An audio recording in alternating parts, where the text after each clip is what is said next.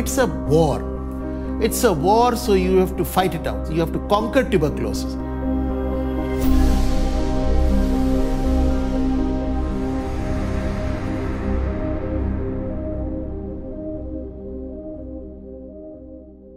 From very beginning, I still remember telling many people that I wanted to be a doctor. And believe me, now I'm very thankful for it.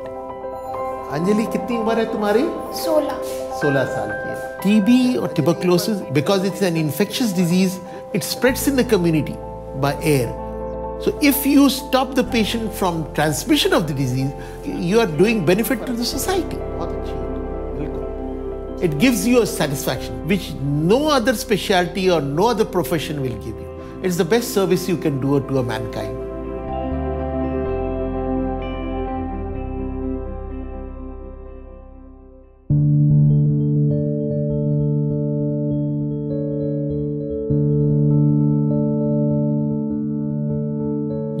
Innumerable problem with the patient of tuberculosis.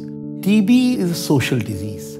I have seen ladies being thrown out of their houses, children and uh, senior people being discriminated for having TB, families not being in contact because of tuberculosis. Being a chronic disease with long treatment, you get delusion, you get depressed. There are cases where I have seen that patients have committed suicide. That was how much they dreaded tuberculosis.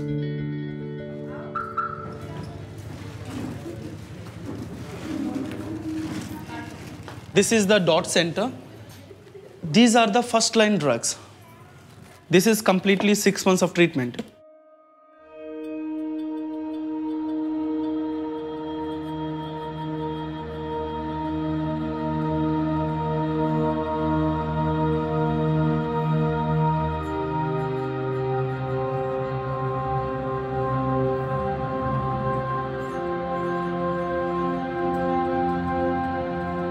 I don't know if you've ever had to take a course of antibiotics, but I know a lot of people that won't even finish a 10 day course of antibiotics, let alone a 180 day course of antibiotics. People stop because they start to feel better after a month because the drugs do work. So they stop coughing, they stop taking the drugs, and the germs that survive are the ones that are most resistant to those drugs. Now, we only have about five frontline drugs for the fight against tuberculosis. When those drugs stop becoming effective, we're starting to get multi drug and extensively drug resistant TB. If you're unfortunate enough to have drug resistant TB, you can count on being on antibiotics for a couple years, and it will take its toll on you. Treating multi-drug resistant tuberculosis for two years, it's a challenge for any chest physician. The drugs are quite toxic, the patient will have a lot of problems. So MDR TB has been ignored throughout the world, including in India, but this has truly been a global challenge. Currently, uh, around the world, about 3 or 4% of new TB cases are multi drug resistant.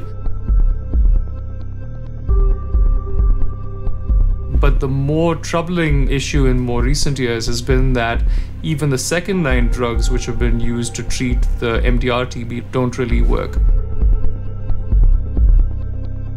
Drug resistance has a particular threat to society, to global society, by virtue of the great difficulty one has in treating these diseases. Extensively drug resistant TB can be up to a thousand times more expensive to treat. The costs of treating those kinds of tuberculosis are so high that in many countries they're just a death sentence.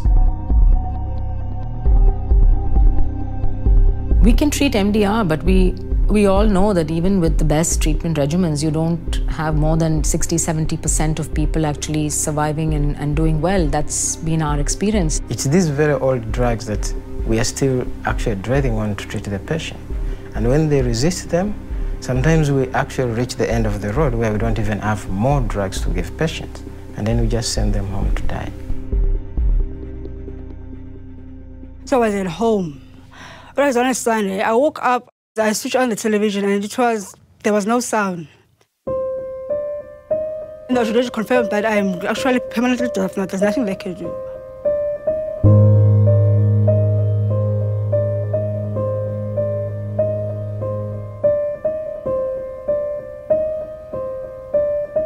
She was on an MDR TB regimen, which includes an injection called kanamycin. The injection that she'd been receiving, she was actually resistant to. So she'd received this injection, which she didn't need, and gone deaf from it.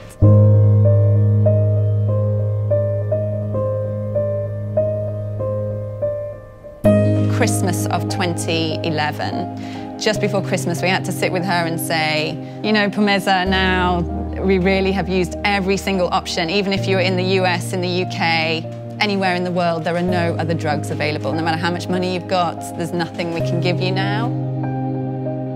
So we tailored this regimen with really a last hope, like it was a salvage chance. I really didn't think it would work. She just was like, I want to live and this is my only chance. No matter how small the chance is, I have to keep taking it. And then she eventually, uh, miraculous, I honestly think it's miraculously, her cultures became negative again February last year. If it wasn't for MSF, I don't think I would be here right now. But still, there's this deafness thing that's still holding me back. So it's difficult. When we did say she could go home, the family was still quite scared, so we helped her to build a shack um, in the back garden of a friend of her mum's. So now she lives there with her mum, just the two of them. The rest of the family don't want her at home. I didn't think they expected me to come back. There's a lot of stigma around DRTB in that healthcare workers and many people think that you got it because you were a bad TB patient. You know, you didn't take your TB treatment very well and now you've developed DRTB. And that was the case maybe a decade ago. That's, you know, when it first emerged. Whereas now, because there's so much of it around and it's spread through the air, you know, you just sit next to somebody in a taxi, windows closed, they have XDR-TB, they cough it into the air, you breathe it in and you get it. Phumeza, she was this young, HIV negative, 19 year old South African going to college, like with all the promise in the world, and got pre-XDR TB for the first time ever, never having had TB before. I've seen um, many, especially at preclinical, I've seen many patients dying because now I was giving another, uh, I got seven chance. How many chances did I get? Chance. To live. I, I don't know, I had hope, I'm willing to speak out from experience so that it could help other person out there to not give up hope.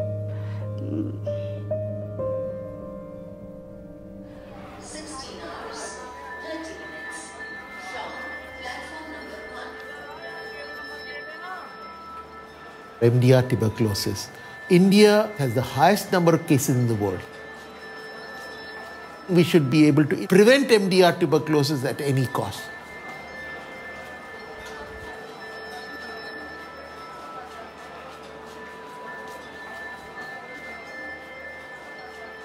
BCG is part of our national immunization program. BCG still has some protection against severe forms of TB in young children. But certainly for later on in life, we know that BCG does not protect adults. Every clinician is aware of the limitation of BCG and the need for a newer vaccine. Thank you for everyone. Preventing the scourge of tuberculosis, we do need a vaccine. That's the gravest need for tuberculosis. और ठीक हो जाओगे निश्चिंत रहो अब तो TB नहीं है तुम्हें चिंता नहीं करो तुम्हें निमोनिया है the nurses and the doctors that show up every single day in these TB hospitals without any protection, they're real heroes for doing that. But this is a very huge risk. It's a big risk when they are working with tuberculosis, and worse if they are working with MDR. Even in patients that did not suspect of having tuberculosis, they could be exposed. So ideally, if there's a vaccine, it's going to protect you in all angles, uh, in all types of patients.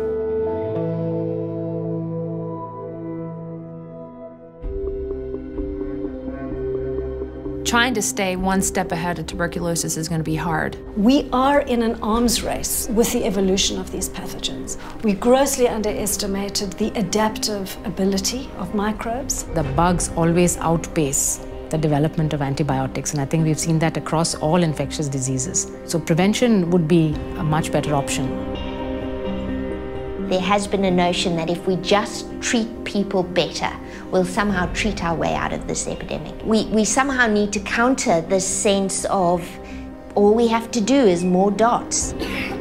For instance, in a province like my own, We really have actually been trying to do DOTS very well indeed. The clinic that I work in wins prizes every year, finding people for putting them onto treatment, making sure they finish their treatment, and yet we have seen a year on year increase in tuberculosis. I think we have to go back and say, okay, if that's not enough, then what else needs to be done? We need to fight this war on several fronts. The risk of uh, not investing in TB vaccine research is that we may see more and more drug resistant TB emerging, which is going to outstrip the uh, development of new drugs. It would be extremely foolish for us to ignore MDR-TB at this point. With populations that are growing, people living in close proximity, we would have an absolute nightmare on our hands.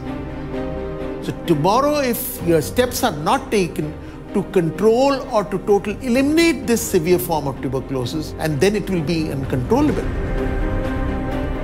Don't think that it's happening on the other side of globe.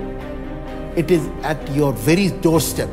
But with the advent of vaccine, we see near future tuberculosis totally vanishing from this planet.